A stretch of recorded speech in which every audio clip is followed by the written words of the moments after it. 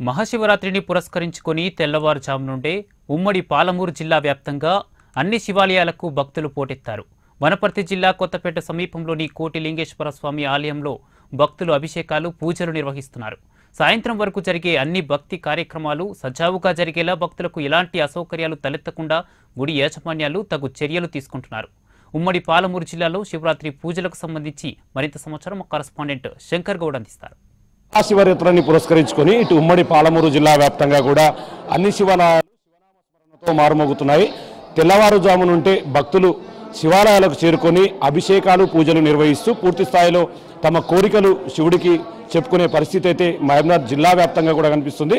ప్రస్తుతం మనం వనపర్తి జిల్లాకు సంబంధించినటువంటి కోటిలింగేశ్వర స్వామి ఆలయంలో ఉన్నాము. ఊళ్ళో చూడొచ్చు పూర్తి స్థాయిలో భక్తులంతా శివుడికి అత్యంత ప్రీతికరమైన రోజు. అంతేకాకుండా ఈ మహాశివరాత్రి నాడు ఏదైనా సరే తమ మనసులో అనుకుని శివుడికి అభిషేకాలు నిర్వహిస్తే ఈ కోరికలు తీరే విధంగా ఉంటాయని చెప్పి భక్తుల ప్రగాఢ నమ్మకం. శివుడిని అత్యంత ఇష్టంగా కూడా పూజిస్తారు. విజువల్లో చూడొచ్చు మనం. ఆ క్యూ లైన్లో చాలామంది చాలా మంది కూడా ఉంటారు. ఈ రాత్రి అంటే తెల్లవారుజామున వరకు పన్నెండు గంటలు దాటిన తర్వాత తెల్లవారుజామున వరకు కూడా పూర్తి స్థాయిలో భక్తుల సంఖ్య అధికంగా ఉంటుంది. లింగోద్భవ సమయంలో ప్రత్యేకమైనటువంటి అభిషేకాలు ఉంటాయి. అవి ప్రత్యేకంగా చెప్పుకోవచ్చు.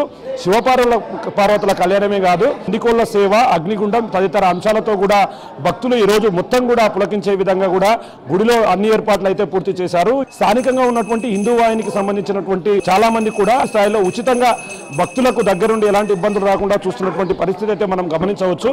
మన దగ్గర కొంతమంది ఏ భక్తులు కూడా ఉన్నారు. వాళ్ళతో కూడా మాట్లాడదాం. అసలు ఈ రోజు పరిస్థితి ఏ విధంగా ఉంటుంది?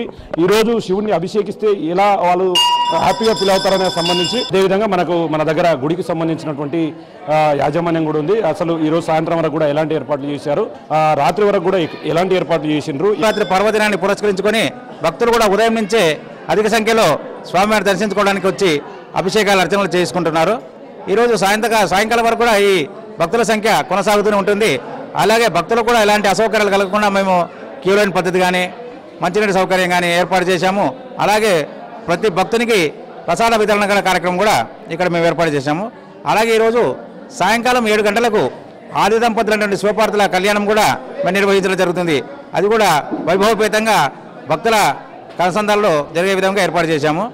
అనంతరం ఎనిమిది గంటల నుంచి భక్తుల భ- భజన కార్యక్రమాలు కూడా కార్యక్రమం కూడా ఉంటుంది. ఇక్కడ కూడా ఎలాంటి ఇబ్బందులు రాకుండా అయితే గుడి యాజమాన్య చొరవతో ముందుకు వెళ్తున్నటువంటి పరిస్థితి కనిపిస్తుంది. అదే తెల్లవారుజామున వరకు కూడా ఆ శివరాత్రికి సంబంధించినటువంటి ఉత్సవాల కార్యక్రమాలన్నీ కూడా సజావుగా కొనసాగుతాయి. సాయంత్రం నుంచి కూడా పూర్తిగా శివపార్వతుల కళ్యాణం కావచ్చు. అదేవిధంగా లింగోద్భవ సమయంలో శివుడి అభిషేక విషయంలో కావచ్చు నందికోళ్ళ సేవ అగ్నిగుండం ఇలా చాలా కార్యక్రమాల ద్వారా ఇక్కడికి వచ్చే భక్తులను ఆ, ఆకట్టుకునే విధంగా గుడి యాజమాన్యాలు అయితే ప్రత్యేకమైనటువంటి చొరవ చూపుతున్నటువంటి పరిస్థితి కనిపిస్తుంది.